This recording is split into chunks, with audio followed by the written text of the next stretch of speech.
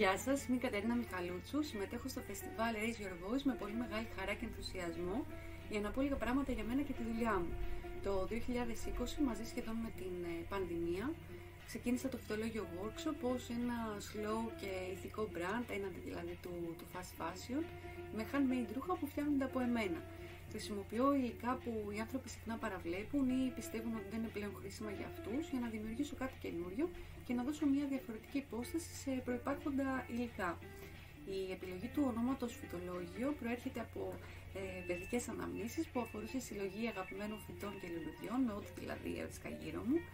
Ω εκ τούτου, με το Φυτολόγιο Workshop ως brand πλέον, δημιουργώ μοναδικά κομμάτια με ό,τι προπάρχον ύφασμα ή υλικό βρίσκω σε charity shops, σε flea market, σε second hand shops ή σε μονάδες ε, ανακύκλωσης ρούχων. Το φυτολόγιο αφορά δύο κύριες κατηγορίες, είναι η upcycling και η edited η πρώτη και η vintage η δεύτερη και οι δύο είναι κομμάτι της βιωσιμότητας καθώς θεωρούνται μια μορφή ανακύκλωσης και επαναχρησιμοποίησης της μόδας.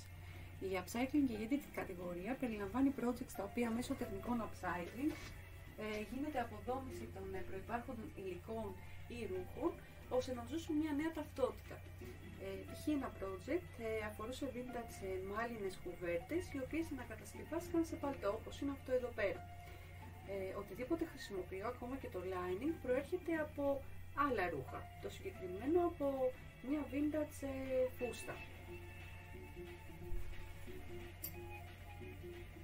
Αυτό το φόρεμα προέρχεται από leftovers στη βιομηχανία επίπλων ουσιαστικά δύο καλύματα, δύο κομμάτια κάλυμα για καναπέ, ανακατασκευάστηκαν έτσι ώστε να δημιουργήσουν ένα όμορφο φόρεμα. Ε, αυτά τα δύο tops προέρχονται από second hand ε, φουτεράκια. δημιουργήθηκαν δύο καινούργια tops. Γενικά μέσα στο brand δεν υπάρχουν ποτέ δύο κομμάτια που να είναι τα ίδια και αυτό είναι πολύ σημαντικό μέρος της, ε, της διαδικασίας για εμένα. Οι αξίες τώρα που χαρακτηρίζουν τον brand ακολουθούν κυρίως τρεις πτυχές.